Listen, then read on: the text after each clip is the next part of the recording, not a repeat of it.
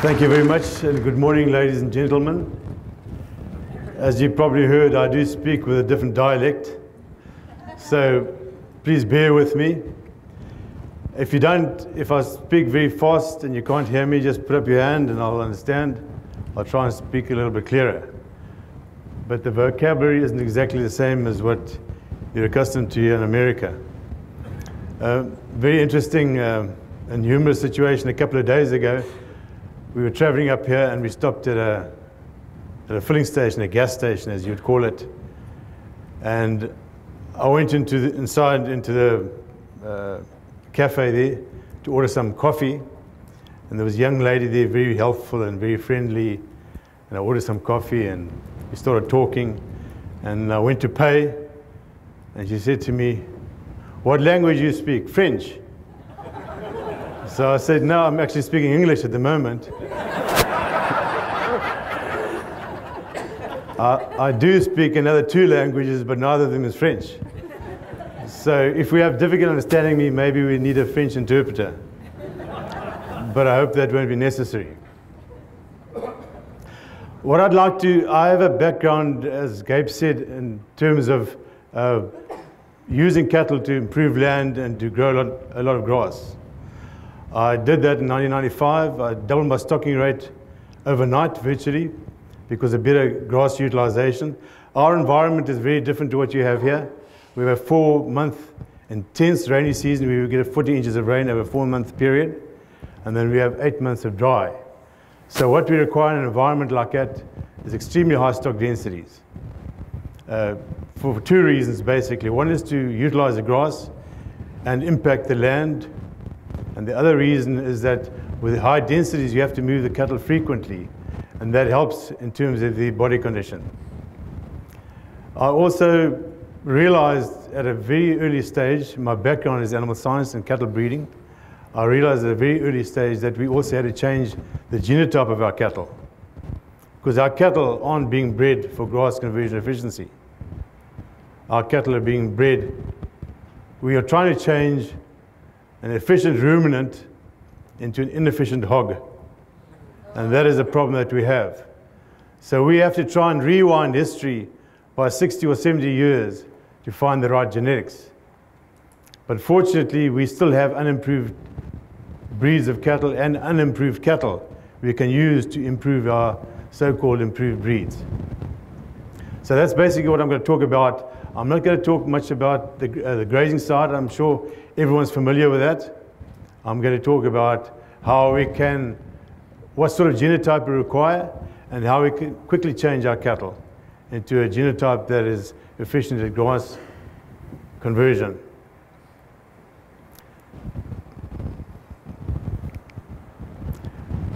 Just as a bit of a background, a lot of people uh, often ask me, why do you still live in Africa, in particular in Zimbabwe? Well, there's a couple of reasons. One is that that's a view from our home. So we live in a very a beautiful part of the world, a very pleasant climate, uh, reasonably cool, warm winters, much warmer than here, and very pleasant summers.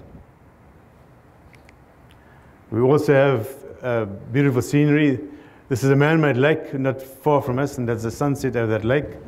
So when life gets very difficult and the politicians are problem, we take a vacation on the lake. I lost my land in 2002. I had to move around, and then I eventually ended up buying a, very small property uh, because you're not allowed to own land in our country of birth. And on the front lawn, uh, where my wife has a lawn and flowers, I was able to graze some cattle. So that made me feel a lot happier. Okay, the biggest paradigm shift required by a cattleman is we have to change our goal, our objective from production per animal to sustainable profit per acre. I would like to emphasize that because that is extremely important. Production per animal would be the equivalent of a corn farmer measuring his production not in bushels per acre or tons per hectare, but in individual plants that are probably spaced 12 feet apart and measuring the cob size or the amount of grain each plant produces. Now that's exactly what we're doing with conventional cattle breeding. Because 99.9% of cattle breeders, their production goal is production per animal or profit per animal. And that is negatively correlated to profit per hectare or profit per acre. And if we're in the business of cattle farming, cattle ranching, from a business point of view, we have to maximize profit per acre and we have to maximize our uh, interest on our capital that we invested in our land. And I'm sure the land prices here are very high relative to the amount of cattle you can carry. I do work in South Africa. I don't live in South Africa. It's a different country. I do work there. And South Africa is probably one of the most expensive countries to uh, ranch cattle because the high land price is relative to the very low conventional stocking rate. So that is a problem we have. So what I'm going to talk about is production per animal, how we can maximize uh, production per, animal, uh, per hectare rather, on a sustainable, ecologically and economically sustainable basis. So stocking rate, if we understand that, if our goal is maximum profit per acre, it reinforces two very important truths. One is that stocking rate is by far the most important determinant of profit. And it's, a relatively easy matter to increase our stocking rates through appropriate grazing management. Can everyone hear me at the back there? I didn't ask. Can you all hear me? Thank you. So it is important that we understand that stocking rate is by far the most important determinant of profit. And even with a low production per animal, which uh, invariably is the case, when you do increase your stocking rate and you're forcing cattle to graze less selectively, production per animal will drop. But apart from that, despite that, you will still increase your profit per acre and you'll be able to improve the land. The other very important truth is that inherent body condition is a genetic foundation for economic and ecological sustainability.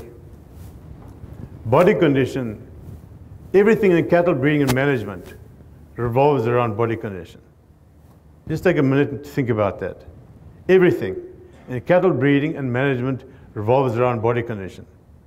If we don't have inherent body condition in our cattle, we have to feed them to achieve the required body condition. So we do have a choice. We can breed for inherent body condition. We can ma manage for good body condition in terms of our grazing management. Or we can feed for good body condition.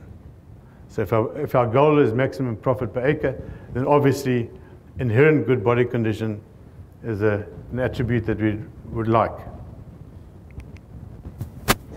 So the current revolution in grazing management, which I'm sure all you are familiar with, Allan Savory started many years ago, and it seems to be that a lot of people have caught on to that and using his uh, ideas to improve uh, grass management. The current revolution in grazing management needs to be complemented by a cattle breeding revolution. And we have to do that very quickly. If we see the type of cattle we have, they are definitely not suited. The majority of them are not suited for grass conversion efficiency. So an increase in stocking rate must be reflected by a proportional increase in profit per acre. And the only way we can do that is by breeding cattle that are efficient grass converters, which will be reflected in high inherent body condition. So I'll, every now and again I have a, I'll, have a blank slide on the, on the screen. So anyone's welcome to ask questions while that uh, slide is on the screen. Otherwise, I'll just carry on. So I'd just like to reiterate again is that an increase, that to grow a lot of grass is a relatively easy matter. The urgent need is now to breed cattle that can convert that grass efficiently into beef. We have to understand that cattle have a dual role. One is to improve the land and efficient grass conversion. Improving the land is relatively easy.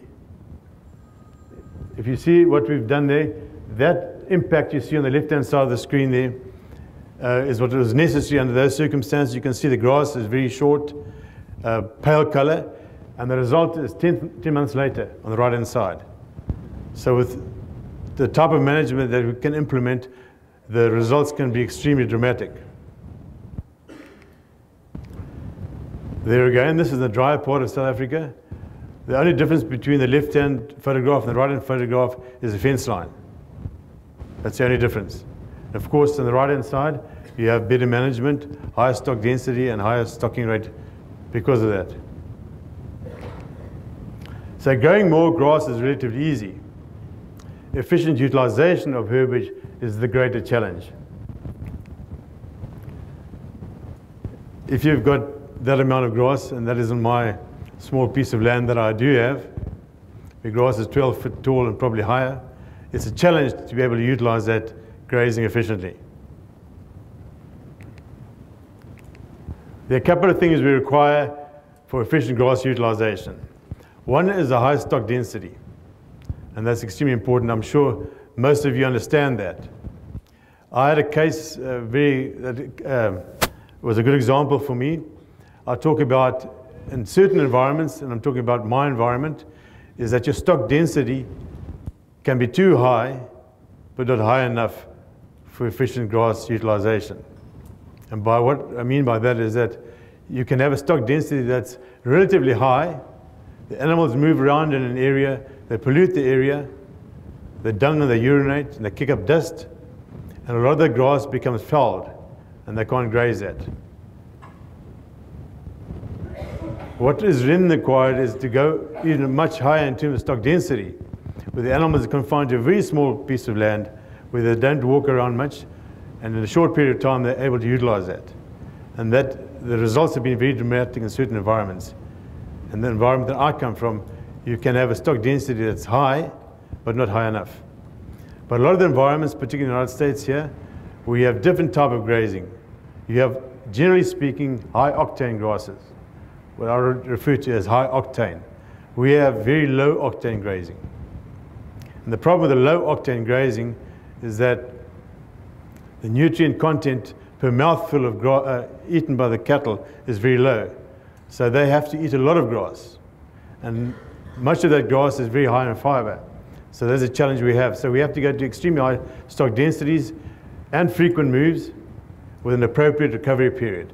In, in a high rainfall environment where grass matures very quickly, the recovery period can be too long in terms of grass quality. In low rainfall environments like much, much of the western United States, you have to go to extremely long recovery periods. And, the, and the, the, the benefit there is that you have a lot of grass, but the quality is still high relative to higher rainfall environments. So one has to manage that in terms of your environment. We also have to manage, uh, with frequent moves, we'll have healthy rumen microbes to a large degree. We don't change the quality over a long time, but over a very short period of time. And the other important factor is that in certain environments we have to uh, give supplemental feeding. And by supplemental feeding, I mean very low uh, amounts of protein, for instance, in a tropical environment that allows the rumen microbes to increase and thereby they can digest the grass. One of our big problems is the low protein in the grass and we require to feed the microbes, not the animal. The, by feeding the microbes, have a healthy rumen microbe, then grass digestion is much more efficient and by doing that, the animals can take in up to 3% more grass, which allows them to have an excess or a larger amount of energy and protein available for production. But what I'm going to talk about is the genetic, genetically efficient grass converters. That is what we require. So efficient herbage utilization and maximum profit per hectare require, in most circumstances, non-selective grazing. If you're not utilizing all your grass, your, max, your profit per acre won't be maximized. So non-selective grazing, as far as I'm concerned, is essential. For that reason, the other reason that I feel non-selective grazing essential is that if you do graze selectively, as I did at one stage, you will have a change in grass species composition. And you'll have your poor grasses, less palatable grasses increasing. And in certain environments, that can happen over a very short period of time. In my environment, it happened within two years. So I had to change my whole grazing uh, timing and density to cater for that. What you see on the right-hand side there, which is totally unusual for cattle, is how they've utilized bushes and trees. and that is because of the timing. Uh, all bushes and trees have a defense mechanism in the form of tannin, which uh, allows the grasses to become less palatable and even po poisonous. Not the grasses, I mean the trees. Now, if your timing is correct, over a very short period of time in an area, and the recovery time is long enough, the tannin content stays very low. So what cattle have done there is normally done by large animals like uh, rhino and elephant in Africa. So we're doing the equivalent of that by using cattle. So do, if you do have a problem with bush encroachment, as we do have there, then we can uh, address that by using cattle at very high stock densities. Okay, the, the problem now is although cattle have to graze non-selectively, the problem with conventionally bred cattle is that they need to graze selectively in order to be productive. And i I hope you understand what I mean by that. Uh, because of the higher nutrient requirement of the cattle, the way they've been bred, the only way we can maximize production per animal is by allowing to select, selectively graze. And that is a problem. By doing that, you are changing your grass species composition to a poorer type of grass. So we have to change the genotype of the cattle to allow us to use those cattle to improve the land and maximize profit per acre. I'm happy you did ask a question because uh, I was in one um, meeting many years ago, probably about the same amount of people as in this room here. And there was a professor who spoke before me, and he gave his talk, and uh, after the talk there was question time. And nobody put up their hands for questioning. And they waited another two minutes, no questions. And eventually some um, joker stood up at the back of the audience and said, when is it going to rain? So I hope, I hope I'm giving you more information than that. The genetic foundation, and I'm starting to answer your question that that gentleman asked me now. The genetic foundation of efficient grass conversion is inherent body condition and a higher, is a higher relative intake. And I'd like to explain that. The larger an animal is, obviously the more an animal uh, eats, grazes grass, the intake is much higher. But the relationship between intake and grass intake, grass intake rather than size, is not in proportion. So the larger an animal is, the less the relative intake is. Although it grazes more grass, relative to its size, it ingests far less grass. The smaller animal, smaller frame animal, has the unfair advantage of being able to eat more relative to its size. If you think of all the mammals in the world, and that's a biological fact, if you look at mice on the one side and you look at elephant on the other side, which animal's got the highest intake? Obviously the elephant. Which animal has got the highest relative intake? The mouse. And that's related again to production. So same with cattle. Within a, within herd of cattle, within a breed of cattle, you'll have that variation. And your smaller frame animal has an unfair advantage. And your large frame animal is actually genetically handicapped. Because it's a fact that relative to their size, they cannot eat more in relation to the size relative to a small animal. So what, what does that mean? The animal with a higher relative intake will have better body condition. And body condition is everything. So ge the genetic determinants of a higher relative intake or inherent body condition are one, frame size, two, climatic adaptation, parasite disease resistance, and individual appetite. Okay, climatic adaptation everyone understands. If an animal is under heat stress, the intake will be less. So we need cattle that can handle heat.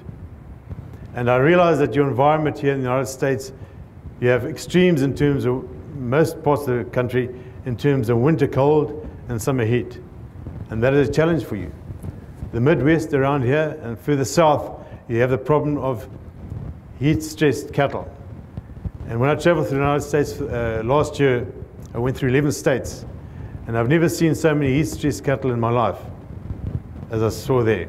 And I come from a tropical environment. So in our environment, the cattle can handle heat because they're climatically adapted. So what you have to do is you have to genetically modify your cattle. And I think the emphasis will be in the southern states, will definitely be, and even in the Midwest, will be to try and get better heat adaptation in. It's no point in having a cold adaptation, and you have cattle that have to put on body condition in summer, and they can't put on enough body condition because they haven't sleeked off, and they have a problem with heat.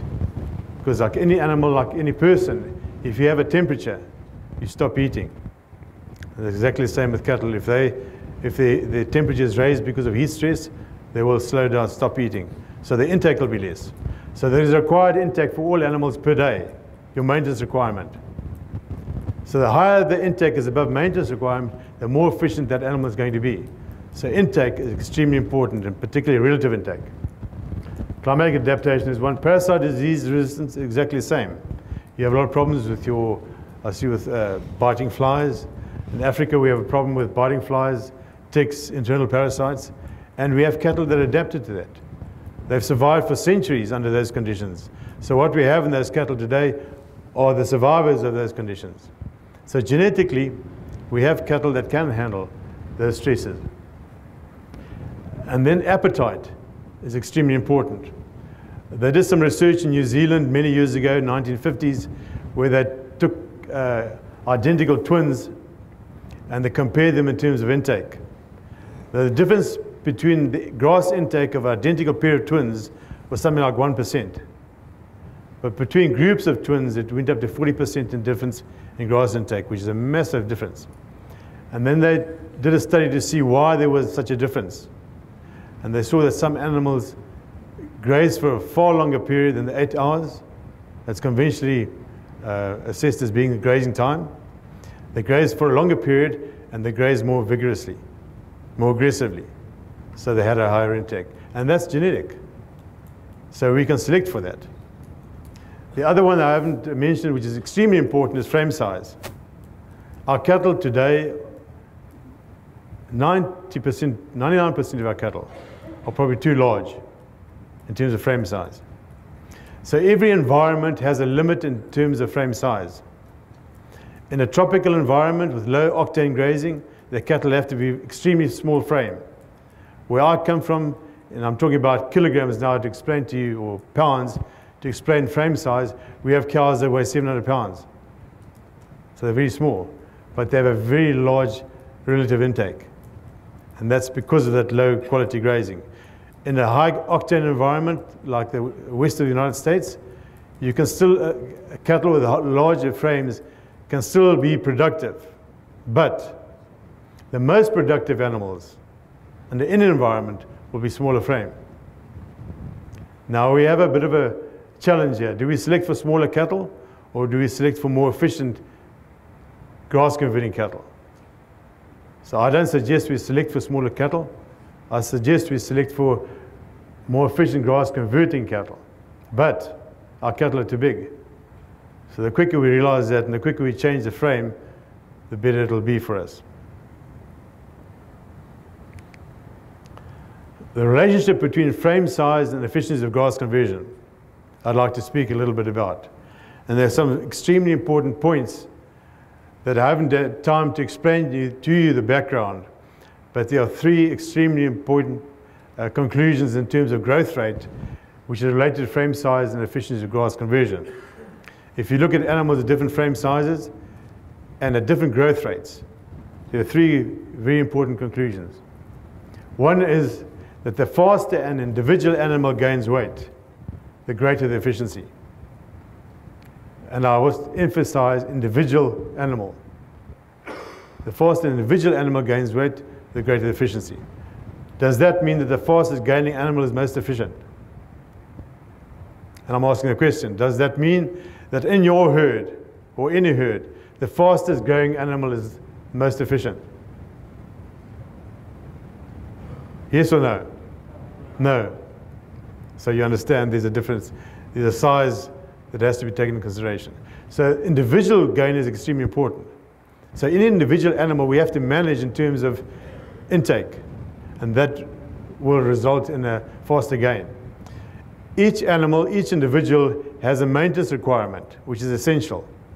And that maintenance requirement remains the same whether that animal is not gaining any weight or is gaining two pounds or three pounds a day. The maintenance requirement is exactly the same. So the more energy, more nutrients an animal can ingest above maintenance requirement, the more efficient that growth is going to be. So if an animal is only gaining a quarter of a pound a day, as opposed to that same animal gaining one pound or two pounds a day, there's a vast difference in terms of grass conversion efficiency. A big difference. So we have to manage for where we can for fast growth. So in terms of our grazing management, that's essential to take into consideration. We require fast individual growth, and that comes from intake. And there are many factors that will influence that intake that we have control over. Okay, so the faster individual gains weight, the greater the efficiency. But that does not mean that the fastest gaining animal is the most efficient. At similar weight gains, the smaller individual is more efficient. Okay, the, the thing is that in any herd, you have a variation in size. I think most of you will agree with me. A very big variation. You'd be surprised to see what that variation is. It's probably 30% and more in terms of your smallest frame animal and your largest frame animal. Okay, if, what that means then is that your smaller frame animal at the same growth rate is far more efficient. So the challenge we have now is how do we identify the, the more efficient grass converters because we can't use absolute gain. We can't use daily gain. We can't use weaning weight. We can't use yearling weight. We can't use 18 month weight. We can't use mature weight. Because all those weights are positively correlated to mature size, which again is negatively correlated to grass conversion efficiency. So we have to somehow devise a, a selection criteria that allows us to select the most efficient gaining animal. Okay, in order to gain at equal efficiency, animals of varying size, as found in a herd, have to gain in proportion to their size. Now I said that there's at least a 30% difference in any herd between your, in terms of frame size between your cows. What that means is that your small frame cow relative to your large frame cow, that large frame cow, her progeny, at any time, any given date, or any given time, has to weigh 30% more than the small frame animal. Now let's think about bull selection. How many bull breeders take that into consideration? We only select for size, we select for growth rate, we select for weaning weight, yearling weight. Now by doing that, we are, we are selecting an animal that does grow faster but it doesn't grow fast in proportion to size. Why? Why can't a larger animal, why does a larger animal have a difficulty in growing in proportion to size? Because they can't eat in proportion to size. So although, that is a, biological requirement, they have to grow in proportion to size to be equally efficient. They can't eat in proportion to size. The difference between, I'm going to give two extreme cases. I'm going to, and I'm going to translate it into pounds for you so you understand. The difference between a 700 pound cow, which you don't, probably don't have here, and a 1400 pound cow is that the relative intake of a 700 pound cow, everything else being equal, is going to be 20% more than that of a 1400 pound cow. A 20% higher relative intake translates to 20% higher uh, body condition.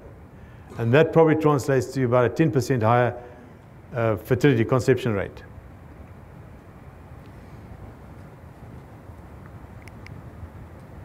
Therefore, small frame animals have an unfair advantage and large frame animals are genetically handicapped. This, if I could make it easy for you to understand, the smaller, and just think about this, the smaller and heavier, the better, the more efficient. So what it means is that all animals have a come with a certain package. It's like comparing sugar. You get sugar in different size packages. You have a five, a five pound package of sugar and you have a 10 pound package of sugar. Now imagine a 10 pound package of sugar with 9 pounds of sugar in it. 9 pounds is much more than 8. But imagine that 8 pounds of sugar in a 5 pound package. What will that animal look like relative to the 8 and 5 package relative to the 9 and 10 package? That's the easiest way to understand it. So if you ever have to go and select bulls and you don't have the relevant, appropriate uh, figures, which 99.9% of the case wouldn't be there, you wouldn't have those figures. Disregard all those figures. Disregard all performance figures. Disregard EPDs. Stay away from them. Just look at the animal. If you had to select a bull for yourself, in a contemporary group, look at the bull that's got the fullest package. And that's the bull that's the most efficient grass converter.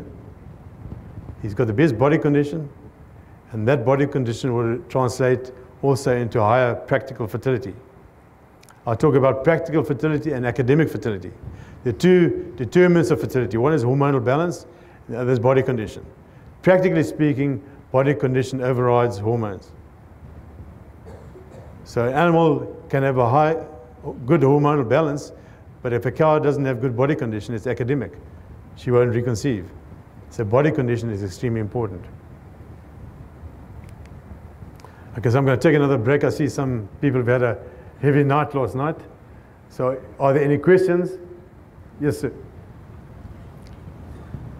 you graze sheep? The question is, do I graze sheep? No, I don't. This is what you're telling The principles will be exactly the same. I believe. I don't have much experience with sheep because our environment is very difficult for sheep to survive. Relative intake, relative. Exact, exactly. That's why sheep are more efficient than cattle. 100%. At least twice as efficient in terms of feed conversion. It's again that relative intake is very high. And even with sheep, we have to select for that. If we select for growth, we select for uh, weight per day of age, we're going to select larger sheep and not more efficient sheep. So we have to devise a selection criteria that can identify the most efficient grass converters. And I'll come to that later. Any other questions? Yes. Before you were talking about recovery rate for the ground uh, in your grass. So how do you determine if you're going to have a longer recovery rate or a shorter recovery rate? Well, I'll just give you two examples. In my environment, um, we have uh, 40 inches in a four month period with high humidity, high temperatures. So over a short period of time, you have a massive growth of grass after it's been grazed. Now, what happens in that tropical environment is the, the grass is extremely high in fiber. So as the grass matures, it becomes fibrous and it becomes much, uh, it becomes more difficult for the animal to convert that grass because of the fact that it can't ingest enough. So the octane rating goes down. It's like fuel with a low and high octane rating. So in that environment, my animals have to probably take two or three mouthfuls of grass to get the same nutrients as an environment similar to here or the Western United States. With one mouthful of grass, they get enough nutrients. So what I have to do there, I have to plan that they, they go back and re- regraze before the grass is recovered completely. Okay, so in a certain sense, you might be overgrazing, technically. But if you're doing it non-selectively, it's not a problem.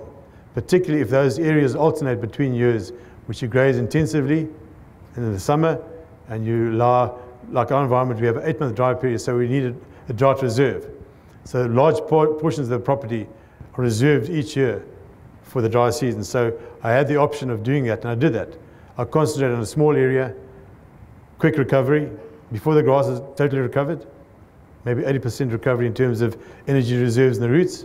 Do it non-selectively. You won't get a change, in species composition, and you alternate between years. So if you do have that situation, I'm not sure whether it is the case here. There might be cases in other parts of the southeast, maybe. But if you do have that situation, one has to plan for a quicker recovery. The worst you can do in an environment like that is to have a long recovery period, and cattle come into very mature, high fiber grazing, and they can't utilize it. I don't know whether that answers your question. Yes, sir. So when you're selecting and raising and stuff, you're not really concentrating on so many pounds of intake because you can't really manage, you can't really have them questions or answers, questions and answers because you don't weigh the intake. So you, you're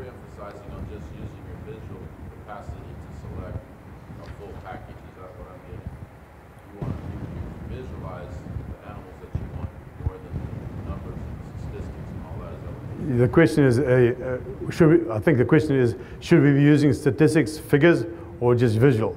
At the moment, with the figures we have, I would say just a visual assessment.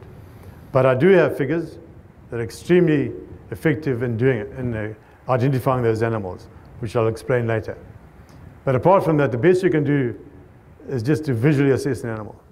Okay, how can anyone in the right mind try to genetically change efficient grass converting ruminants into in inefficient grain converting hogs? And that's exactly what we're doing. We're trying to do. It's the same as going to a hog farmer or a chicken farmer and telling them they must select the chickens for efficient grass conversion. That's what we're doing. It's incredible that the human mind can, be so, can have such paradigms. And we're talking about learned, peop- learned people making those conclusions. Um, so by breeding inefficient hogs, cattle breeders have forfeited inherent body condition in favor of feed out of the bag and selective grazing. And that is a problem. So we have to, okay, here. What am I? Am I an efficient ruminant and an inefficient hog? So what am I? And that's what a lot of people pride themselves with breeding animals like that. Now I can guarantee you that an animal that size in my environment, if I put it on grass, it wouldn't take him very long to die. The human mind is an enigma. That is what we've done. These have been the ideal types. From dwarfs in the 1950s to these fertile oxen that we saw from the 1970s. And unfortunately, that fertile oxen syndrome is still very much evident. So what happened is because they were, they were selecting for smaller cattle in the 1950s for some other reason, showing, selecting for smaller cattle, I think it probably became like a hobby. And they eventually ran into dwarfism. They, the cattle, stud breeders, seed stock breeders, got such a fright that they started using hip height measurements to select for larger cattle. Now, if you're familiar with the influence of hormones on size, you'll realize what happened there, why that is a fertile ox. Because for selecting for frame size, hip height, you're indirectly selecting for later sexual maturity. And that's exactly what happened there. Because early sexual maturity, testosterone in the bull, estrogen in the cow limits frame size. So we become clever, we select for frame size. Uh, it's like taking in poison, frame size. We're willingly taking poison. And now we have a problem because we've taken poison, small testes. So what do we do now? As an antidote, we start selecting for scrotal, scrotal circumference. But the two go, don't go together, totally antagonistic. Frame size and scrotal circumference are antagonistic. But that's just to, to show you how, how far we've gone wrong and still off the track in terms of cattle breeding. So the truth does not become a lie because no one believes it. Neither does a lie become the truth because everyone believes it. The unfortunate thing is, is that there's a lot of superstition around. A lot of truths have become myths. And a lot of lies have been believed. The more people that believe a lie, the more truthful that lie becomes. If we did everything opposite of convention, we would be much more right than wrong. Just think about that. That says a lot for our the human mind. And I, I've often said that, and I believe now there's more truth and humor in that statement. If we did exactly the opposite of what everyone else is doing, we can close our eyes and we'd probably be right. And that it, it reminds me of a quote from Albert Einstein when they developed the atomic bomb in 1945, I think it was. Uh, he said the, the problem with mankind is perfection of means, EPDs, and confusion of goals. What do we do with them? We've got the atomic bomb, we've got EPDs, what do we do with that? How can we use EPDs to improve our cattle? I'll come to that a little bit later. Okay, we concern ourselves with detail and lose sight of the bigger picture. EPDs and genomes. Okay, if we have these EPDs, how do we use them in uh, selecting more efficient cattle. What is too big? What's too small? What's too slow? What's too fast? What's too little? What's too much? It's impossible for us to decide. So this is the problem we have when we look at nature in detail. It becomes extremely complex. We'll never understand it. And the more we go into detail, the greater our problems are going to be. So we have an option to complicate matters or simplify matters. Any questions?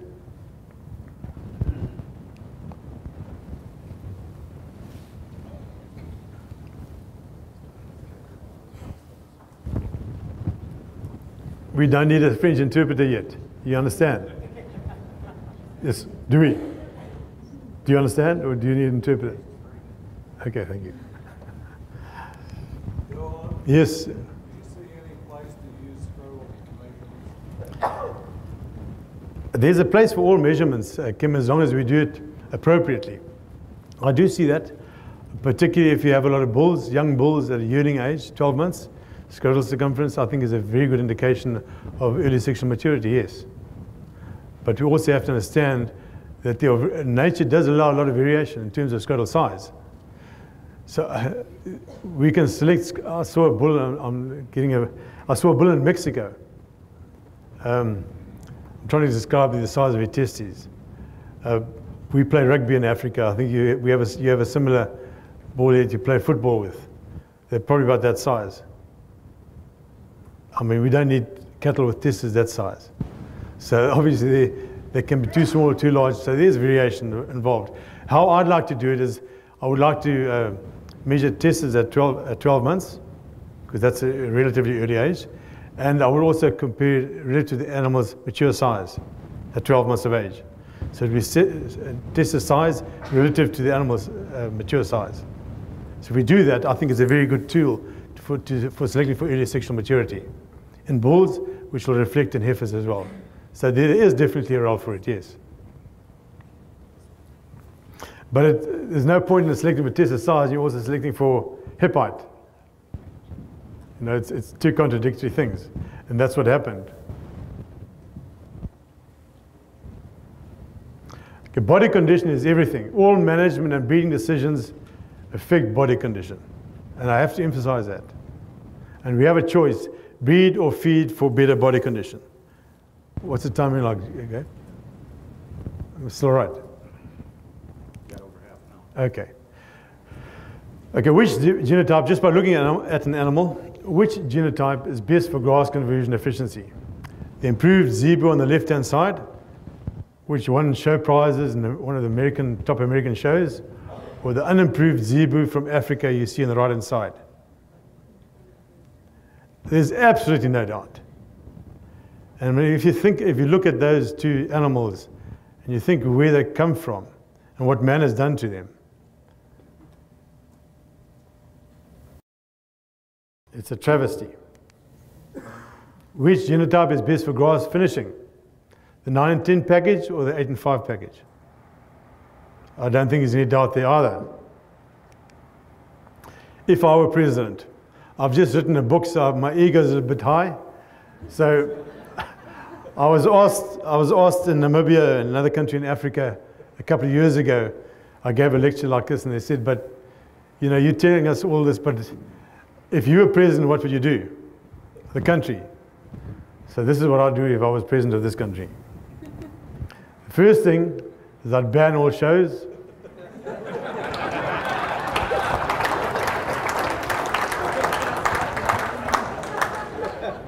and send Mr. Fluffytail to the slaughterhouse and the judge to the jail. That, that'll go a long way to sorting out our problems. The second thing I'd do is I'd ban all current performance testing. All the figures we're using at the moment are totally inappropriate. And that's a, a, a very renowned breed in, in South Africa, a composite breed. Um, we have compulsory performance testing. And that was a result from compulsory performance testing that you see there. Although the bull had a good growth rate and so-called high efficiency of uh, grass conversion or feed conversion, it's an extremely poor animal. Visually, is that it doesn't fill his package. And remember, an animal has to grow in proportion to its size to be equally efficient. So the fuller the package is, the more efficient that animal is. And that animal doesn't have a full package, so it's an extremely inefficient animal. Yet, on the grounds of actual performance tests, actual growth, uh, weaning weight, feed conversion efficiency in the feedlot, that was uh, supposedly a good animal. I'd also ban all pedigree recording, because that poor specimen of a bull is a purebred bull with a very long pedigree. If there were no pedigrees, that breed, I'm sure, would never have sold that bull. That poor specimen of a bull was sold to another breeder. So he should also go to jail. I disband all breed associations. Why? Because people have become more important than cattle. Breed associations are more about people than cattle. It's about politics. And it's a big, big problem.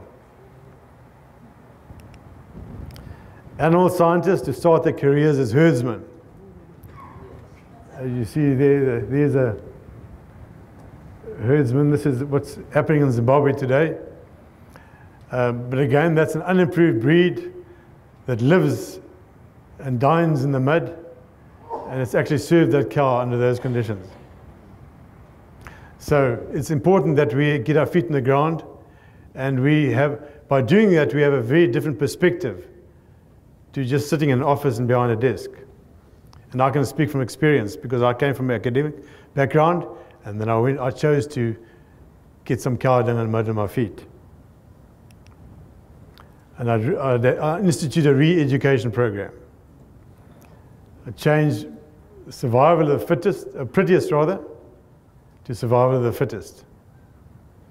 All we're doing now is breeding prettier cattle or cattle that is so-called desirable, but we need to allow nature to do the selection for us, not man. Are the cattle more efficient today than they were 60 years ago? That's a photograph of my late father's herd of cattle in the 1950s. And I, uh, when I look at that photograph, I ask myself the question, what have we done to change those cattle? We've changed them a lot, yes. But what have we done to make them more efficient? And the answer is absolutely nothing. We've done the opposite. We've made cattle less efficient. And why that, that photograph is very important for me as well is in the mid-1950s in our environment, there were no cattle scales. There were no tape measures. There was no supplemental feeding in a very poor nutrition environment. So how did my father and my uncles select cattle? Visually. Now, which cattle under those circumstances where survival of the fittest was more important would they have selected? What would the bulls look like? There would have been those full packages with good body condition, because that determined survival. And that's what they selected. So they were 900% more efficient in their selection just by eye than what we are doing now with figures and EPDs.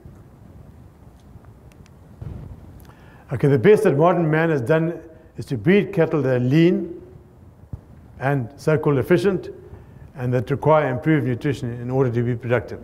That's all we've done. Just making the feed companies more prof profitable and the veterinary companies. Any questions?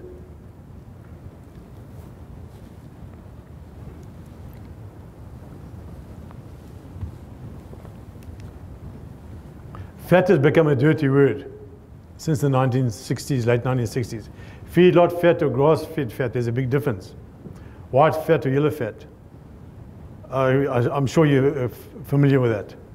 I know in South Africa, because South Africa follows the American model, if you go into a restaurant or you go into a, a butchery and you ask for meat, they'll make sure that they give you meat that's got white fat in it, not yellow fat. Because the perception is that yellow fat is bad. And that's a perception that's been created by the feedlots. Now we know that yellow fat from grass milk from grass has got very high CLAs, anti-cancer agents. So yellow fat is extremely healthy for us. And it's more tasty as well. Fat is essential. it's a reflection of grass conversion efficiency. If you have a contemporary group of animals and you were able to judge their body condition, the animal with the best body condition and the fullest package would have converted the grass most efficiently into that product. Because the faster an animal grows in proportion to its size, the fatter it becomes and the fuller that package becomes. So it's very easy to visually assess them. Fat is a drought reserve. If you have a long dry season like we have and you have droughts, then fat is essential. Fat, fat meat uh, contains at least twice the amount of energy per pound than lean meat.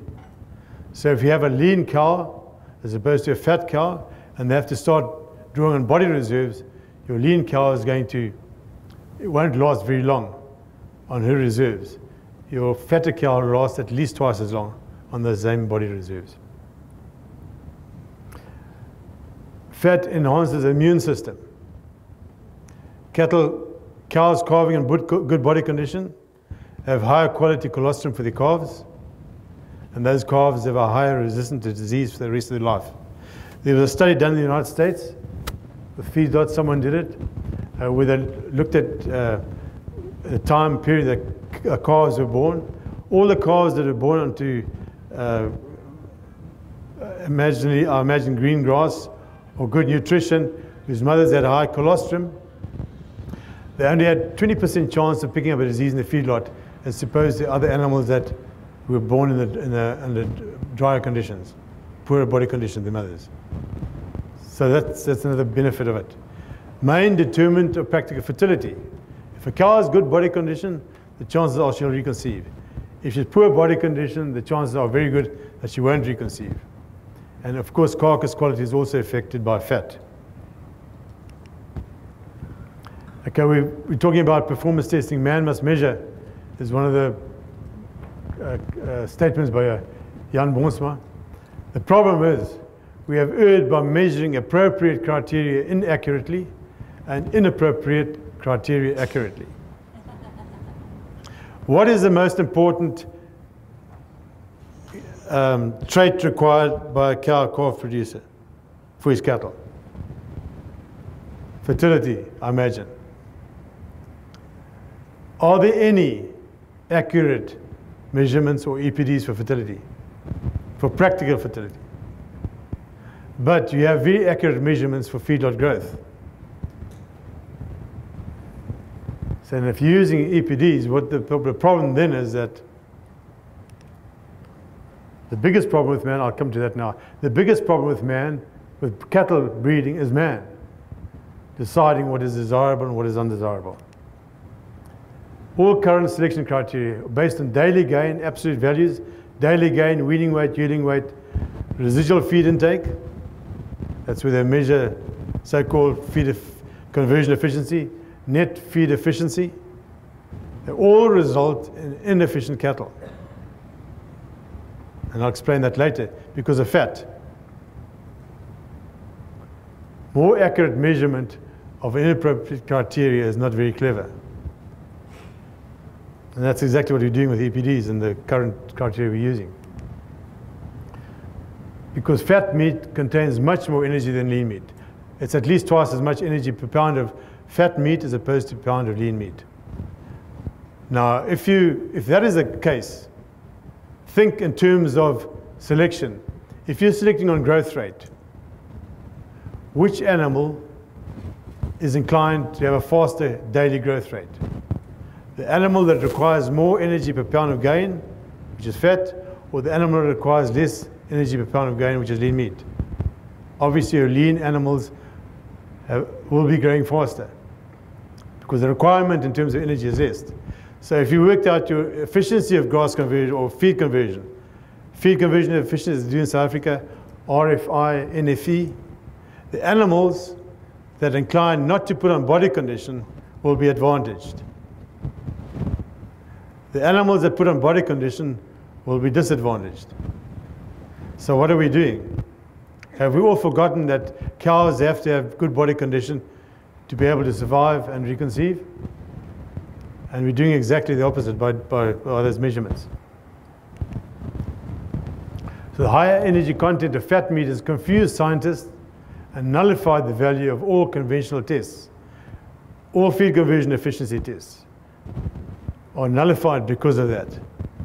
Because what you're measuring, the intake is exactly the same, but the output's different. It's like comparing apples and pears. You can't compare the two. You're comparing animal that puts on body condition, that requires high energy, but also stores more energy, which is required for survival and for production, compared to an animal that requires less energy per pound of gain. Any questions?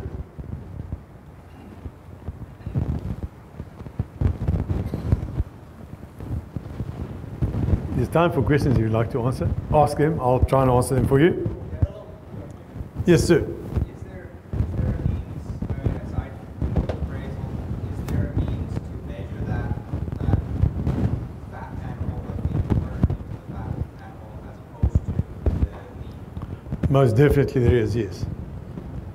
The question is, is there a way of measuring it accurately as apart uh, from visual appraisal? Is there a way of accurately measuring feed conversion efficiency in inherent body condition? Yes, there is a way. I'll get to that. It's a very simple, but it's taken me 40 years to get there. I'll get there just now. Any other questions? Yes? Sorry? Is there such a thing as too fat? The only too fat would be a cow that has a hormonal imbalance and doesn't calve regularly. That would be too fat. The only, is there anything that's too fat or is there um, a problem with too fat? I think that's a question. Yes, I say the only problem with too fat is if you have a cow that's inherently has good body condition, but for some reason she hasn't uh, conceived and she doesn't calve regularly. That's the only problem you'd have that I consider to be a problem. What about on a bull? Have you found it true that if a bull has too much fat around the testes, that it's less fertile? The only bulls that I've seen with too much fat around the testes have been feedlot fed. So I don't think it'd be a problem in grass. But the question is a very valid question fat on a bull. And I know there's a relationship between testosterone and fat. So bulls generally are, uh, have, have less body condition than cows. But that doesn't mean to say the package is less full. But there are African breeds that actually put on fat. You can actually see the fat on them. And they're very fragile animals, so it's not a problem. But if, if it's uh, managed uh, like in a feedlot, and you have animals that put on body uh, fat around the testes, then it's a problem. But I've never seen it under grazing conditions. I don't think it would be a problem now. Now we don't have to worry too much about too fat. We have to worry about too, uh, more about too lean. That is a problem we have.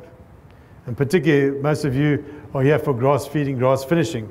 That is essential that you have genetically programmed animals that can fatten on, on forage.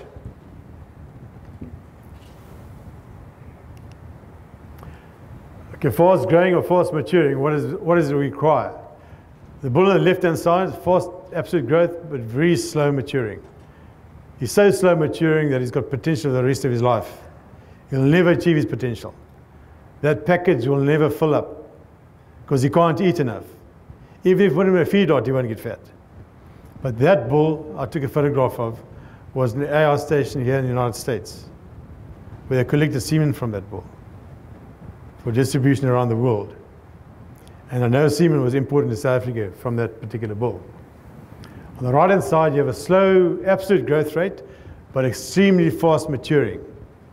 So when we talk about growth, two ways of looking at growth absolute growth rate or maturity. Maturity is the way we have to look at it. So the fastest maturing animal, regardless of its growth rate, is the most efficient animal. And talking about fat, you can see that bull on the right hand side is an African zebu. And look at how look at its body condition. And that's extremely fertile uh, bull. That. Okay, fish and grass conversion equates to fastest maturing, the fattest, and let's not be shy about talking about fat cattle because it seems to have become a dirty word. A lot of people shy away from the word fat. And the fullest package, that's how we, are, we visually determine. And coming back to your question over there, sir, about can we measure the highest 12 month maturity. If we can determine at 12 months of age the bull with the highest maturity rate, that animal, that bull, would be the most efficient grass converting animal. So that poses another question how do you do that? Well, I'll show you this a little bit later. 8 and 5 package visually. Look at that animal. I wish I could see more animals like that.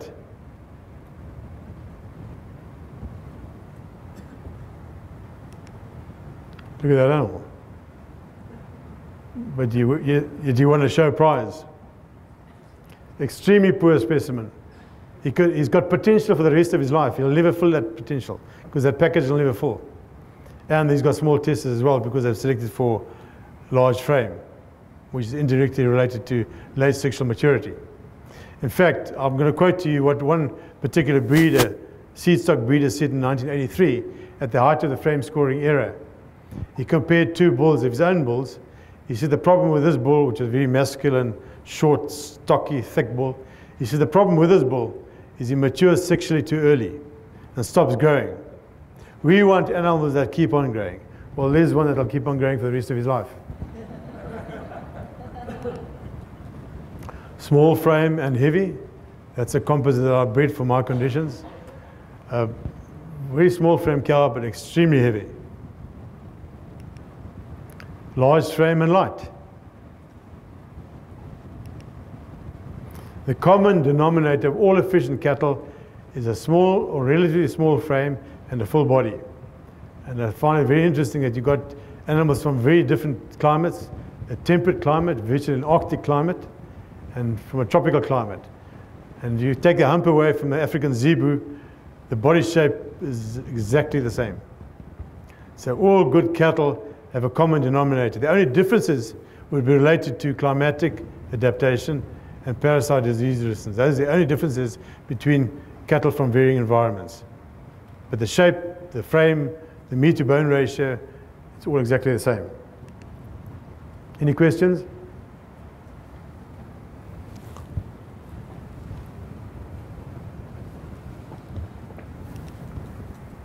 Nature is both complex and simple. If we studied it in detail, we'll never be able to understand nature. We'll always be making mistakes. We can either complicate matters or simplify matters. Cattle breeding needs to be simplified. We have to make it very simple.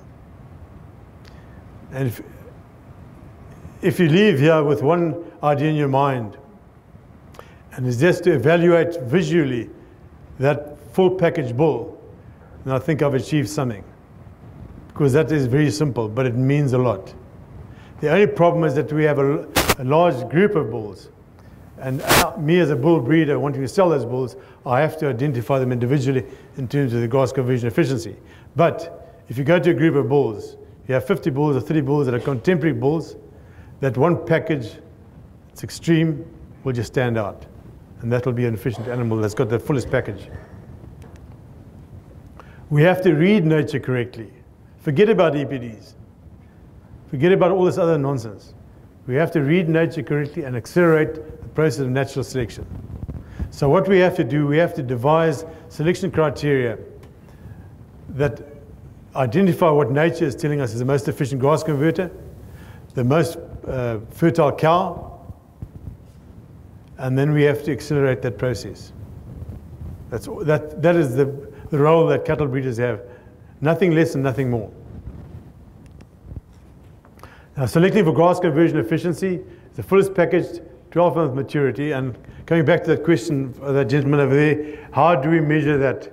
Well, if you have the 12 month weight of a contemporary group of bulls, you've got 100 bulls, you weigh them at 12 months, you correct the weight for age, and then at 12 months, you go back to what happened many years ago when they selected for frame size you take a tape measure, you measure hip height, and then from that hip height measurement, you can predict mature size. So 12 months and even earlier, you can predict an animal's mature size in terms of frame. So you have a 12 month weight, that weight might be uh, 800 pounds. You have a predicted mature size it might be 2,000 pounds. That would make that bull, what, 40% mature. You might have another bull that's got a, a, a weight of 700 pounds, but it's got a mature weight of 1,400 pounds. That makes him 50% mature. So he's a lighter weight, but the package is so much fuller. He's so much more mature. And he is mature, and the package is full because he efficiently converted grass into beef. And how did he do that? Because of a high relative intake. And that is the only uh, determinant of grass conversion efficiency is intake. And there are four factors involved. Frame size, climatic adaptation, parasite, disease resistance, and individual appetite. Now that measurement will take all those determinants into consideration. So that is how you do it. Very simple measurement. And what you will find is that that measurement there as a percentage will correlate with what you see by eye. So that bull that you identified that had the fullest package, he will have the highest maturity rate as well. Because the 12 month maturity score measures grass conversion efficiency. It reflects in inherent body condition, reflects overall adaptation. We don't even have to select for that. It's positive to meat to bone ratio, positive to early sexual maturity, because sex hormones limits frame size. It's positive to practical fertility because of better body condition and better hormonal balance. And it's a foundation for all traits. That is the foundation of all cattle breeding, is 12-month maturity. The ideal beef animal is an efficient grass converter. Has a high degree of practical fertility, optimum milk, about 40 50% of cow size, high meat to bone ratio, and easy care. There is no lowly heritable economically important trait, and that applies to fertility as well. I'm sure that most people in this room, particularly with an academic background, we have all been told that fertility is lowly heritable. Am I right in saying that? Everyone says fertility is lowly heritable. Now, the question I ask is we don't think, how can fertility, which is a survival trait, how can it be lowly heritable? If fertility was lowly heritable, the survival of the fittest would not, would not apply. So fertility is extremely highly heritable. It's a measurement we take to measure fertility that is either highly heritable or lowly heritable. If you're using calving rate, if you've got 100 cows that have got a perfect calving record up to 10 years of age, you've got 100 cows that calve from age of two, that produce nine calves. Are they equally fertile? They've got a perfect calving record, 100 cows. Are they equally fertile? Phenotypically, they're equally fertile. In other words, what you've measured, what you see, they're equally fertile. But if you go back historically, what were the conditions that allowed them to be 100% fertile? Length of your breeding season, the supplementation you gave, decreased breeding season from 90 days to 42 days, take away all supplementation, graze them non-selectively. Will all those 100 cows have a perfect calving record? No, they wouldn't. Because genetics starts playing a role. And what are those genetics? Those genetics are inherent body condition. And is inherent body condition highly heritable or not? It's extremely highly heritable. So if you measure fertility correctly, as I've devised criteria to do that, it's extremely highly heritable and we can make a very fast progress with fertility as well. But the selection criteria have to be genetically discerning. In other words, I've got criteria that you can use. We have got those 100 cows, and you can categorize them from the most fertile to the least fertile. If you made conditions such that only 10% of the cows had a perfect calving record, you can identify those 10% with 100% of them calving. Okay, the most important selection criteria, 12 month maturity score, cow fertility score, which I don't have time to go into, bull fertility score, 40, 50% cow, cow, calf cow weight, meat to bone, and easy care. Any questions? So that's 40 to 50% weaning weight to body weight of the cow? That's optimum. We don't need more than that. I had cows that produce calves three quarters their own weight. Too much milk. They require dairy nutrition. And if you start putting on pressure onto them, in terms of uh, non-selective grazing, for instance, then those are the first cows that won't reconceive. We don't need more than that because you only need 60% at, at yearling weight. Did I understand that when they reach maturity, sexual maturity, you quit growing taller? Is that what I? That's, that's, that's exactly what happens. It's not overnight, but as an animal reaches sexual maturity, it does that because of a, a, a change in growth hormone to increase in sex hormones, testosterone, and the frame size uh, uh, dro- uh, drops. So you have animals that are genetically equally same frame size. One is early maturing sexually, it'll be a lot shorter than the other one that's later maturing sexually. And what you'll see in bulls, again, that foot package, what you also see early sexually maturing bulls, they'll have a very long body. Looks like they've got a long body. It's because the height relative to length is a different ratio. Put that last slide up again. Please.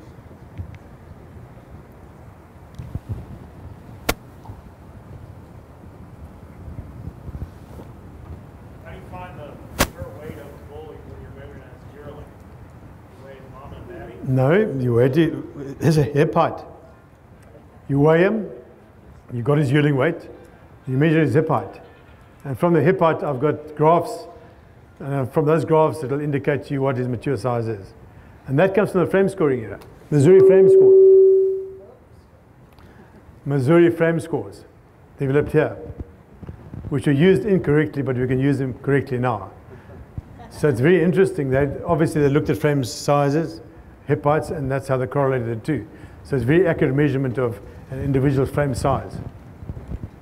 So 12 months you can predict, say his uh, frame, uh, his height is, uh, I'm thinking of centimeters, 110 centimeters at 12 months.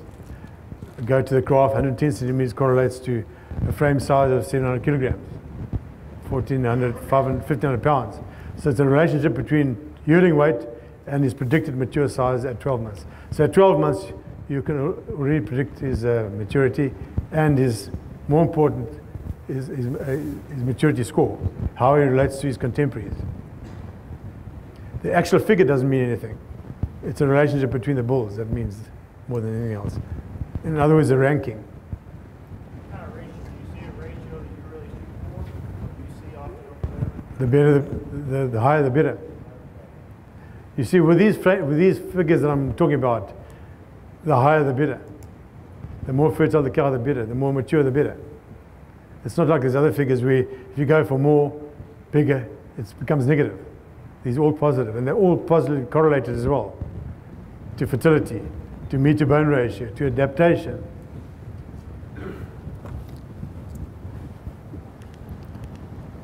Competing for grass conversion efficiency. And that is what we, we have to do. And if you can't find the bulls, you've got to breed them yourself. So composite breeding is the quickest.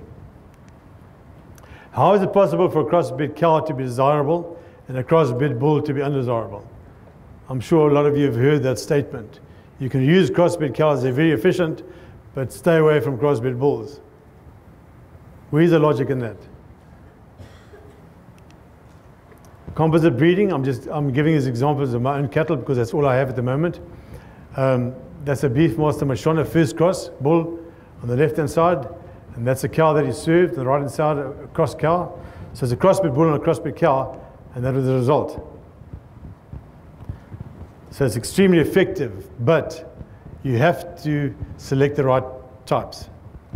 There are three very important criteria, and I'll come to that a little bit later. I think it's here. Most important requirements of composite breeding are appropriate breed combinations. And I do see a role for the African Sangha breeds here in the United States. The Sangha breeds I'm referring to are the Mashona that already have from Zimbabwe and the Tuli that also come from Zimbabwe. So they will complement very well with your breeds you have here in terms of uh, for heat adaptation and also for uh, easy care attributes.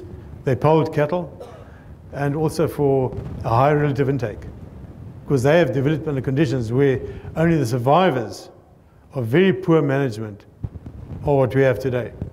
So appropriate breed combinations, appropriate types within the breeds. You have to go for the fuller packages and then appropriate selection afterwards. Selection for maturity rate, for fertility.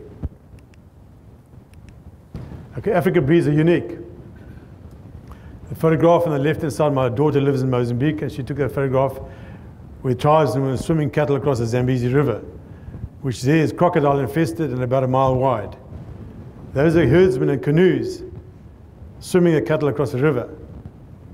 Okay, they've got islands, so they go from island to island to get across the river. But imagine trying to do that where cattle know there are crocodiles in that river, and yet they're obeying man. It's that relationship between cattle and man that's imprinted in their memories somehow that these African cattle do have. And they live in the real world of dung and mud and not in motels and air conditioned apartments. Mashona, these are Mashona bulls that are in the United States at the moment. Um, and there's semen available for those who are interested. I believe that they've got a tremendous potential. What you see there, those banana horns there, are loose horns. They're because most of the cattle are polled. But some of the bulls develop their scurs because of the, the linkage, but just a loose horn. So they will combine very well. A bull like that's got a black color, so if you like black, you like polled cattle, I've seen a lot of them around. You can use them. Well, let's be diplomatic. Let's say you can use those cattle to improve these cattle, but you get the same results. But I would believe you're using those cattle to improve the other ones. Tuli bulls.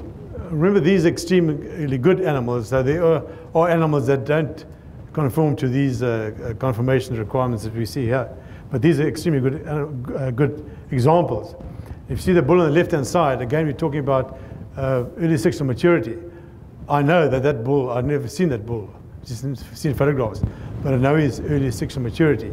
Because you look at his height relative to his length, it's very extreme. Mashona cows, he's in Florida.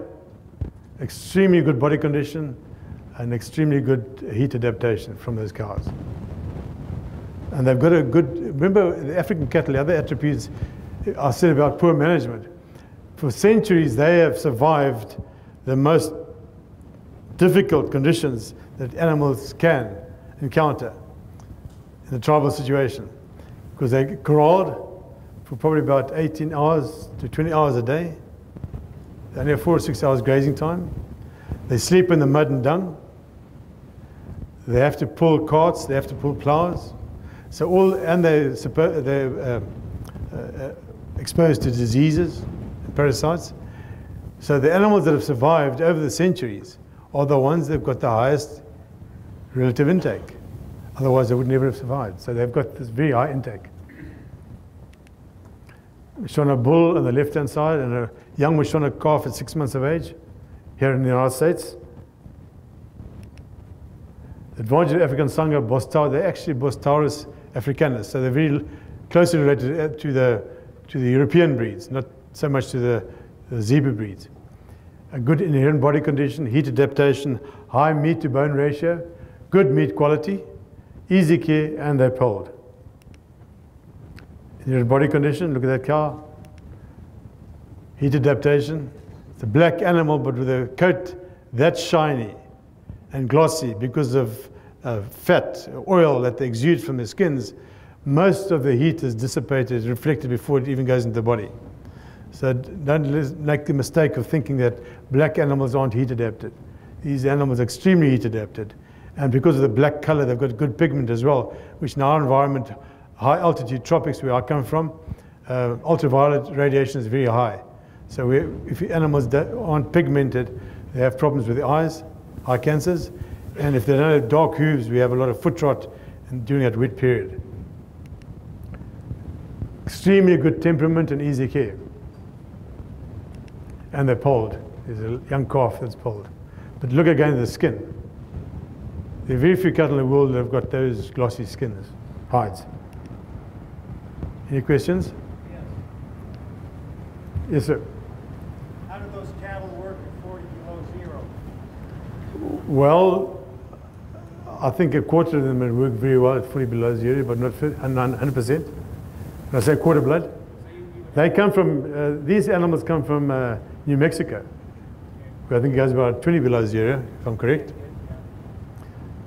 The, I see that there's a lot of variation.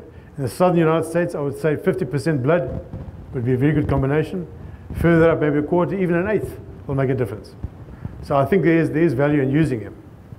But obviously, the, the cold, the further you go north, the less Uh, of that blood you would require in your cattle or need. Yes, did you, someone have?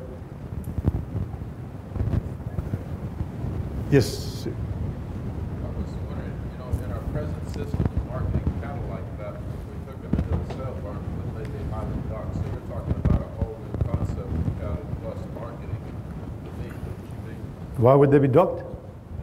because of the old mindset that reads the EPDs and all the stuff that we go by. I'm kind of asking, would we have to go with a whole new business model, quality cattle, quality? Well, it's easy. Just make me president and I'll sort anything out for you. I'll re-educate everyone very quickly. I know, make me president and I'll re-educate everyone very quickly. It is a problem, yes. But from my background, I was always in a situation where I, I sold bulls and I had the highest average price in the country for 16 years, unregistered bulls. So there is a way of marketing them. And there's a big audience, there's a lot of people out there that are becoming aware of what they require. There's a great uh, need for these cattle. So I, I, I think it's just a question of time. And people in the, in the situation as you are now, you're the forefront of it, so make advantage, take advantage of it. There's a gentleman in the background, in the back there, that wants to- record. Yes, yes, sir. The temperament, uh, what experience do you have with the quality of the cattle and on the temperament? The temperament is nothing better. They don't have better tem- There's no cattle that have better tem- temperament, generally speaking, than these African cattle. Because there's somehow, I don't know how genetics works, but the relationship with man, they have a very close relationship with man. They are very good tempered. I was in a, in a, in a two, three days ago, I was amongst the herd of cattle, and they came to me, the calves came to me, they started licking me. They have that affinity for man. That photograph in my book, I don't know, I've just written a book, there's a photograph of me there with one of the calves. They have that temperament, they, have a very close affinity. I think that's the relationship between man, because man protected them from, from predators as well in the past in Africa. So they were corralled, they were protected from predators, and they're always worked with. So somehow, genetically, there must be a, an imprint in their minds that man, generally speaking, is not a, is not a predator. Any other questions? Yes, ma'am. Can you comment on uh, inbreeding? Like when you once you get these composites and you're keeping bulls, you're selecting based on phenotypes or um, what types of percentage of inbreeding complications Don't worry about inbreeding, at all? Yeah. not at all. Just worry about being, selecting the animals that nature's telling you are the most efficient animals. Yeah, just keep doing that. Just keep doing that. So what you're going to do, if inbreeding does take place, probably does, you increasing the concentration of survival genes. That's exactly what you're doing. Look at nature. I come from parts in Africa, and I'm sure you have the situation here. We have certain antelope that are very territorial. They've been territorial for millennia, so they must be highly inbred. So the, the, the negative attributes have been uh, don't exist anymore. Survival of the fittest. The problem with inbreeding is when man inbreeds, but you can't get away from inbreeding if you're selecting correctly. Right. Because all your better cattle are in families. So just do that. So it's half brother and half sister is not a problem. I would never use, I wouldn't advise you to use a bull on his daughters heifers. But if your breeding uh, um, structure is correct, you'll only use a bull for a very short period of time and replace him with his sons. So it wouldn't be a problem now. Yes, sir. Can you express, uh, talk about meat quality? That's been sound data, you're testing on meat quality, meat tenderness from the African breeds. Well, they've, they've done in the United States. If you can go to, uh, I think it was done work in Nebraska. They've done it. They're very similar to European breeds. There's not much difference. Even the African zebu doesn't differ much from the European breeds. The African zebu is another very interesting breed, but it's not available here at the moment. It's very different. It's got small ear. Uh, you cross it with a European breed, and you it won't even have a hump. It'll have a slight crest. It'll have no ear and there'll be no leather. So you won't know there's zebu in it. Can I just, I just finish quickly? A couple of, half a minute. So I just want to show you some photographs quickly of uh, the composites that I bred, just to show you the type that I'm talking about. Um, again, look at the height length ratio. There's an example, that's a two-year-old bull, very early maturing sexually. There's another example there. Uh, let's go through quickly. Different colors, but the same type. Very small, others small teats. Pigment. And that particular animal was a treble stocking rate, non-selective grazing, was able to produce that calf, and that calf uh, calved at two years of age, which is unheard of in our conditions. So that's when you get your genetics uh, in tune with your environment. And there's another example there. Thank you.